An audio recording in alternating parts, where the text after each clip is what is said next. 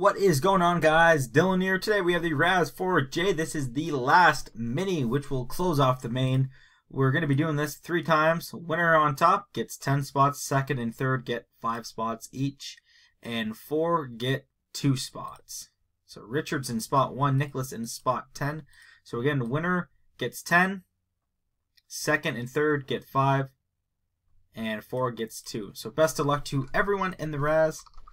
We're going to go live and paste the list there. Best of luck all. First random. Second random, we're going to copy the timestamp, which is, we'll paste it there, 234202. That is the second random, 742. It is 742, eight, or uh, Monday, April 24th, 2017. And the four winners, good luck everyone. Richard getting 10 spots, Michael getting 10 as well, technically 5 and 5, which is 10, and Richard getting 2. So that is the third and final random, guys. Copy that. Bring it back over here. Verify this. 742, 742.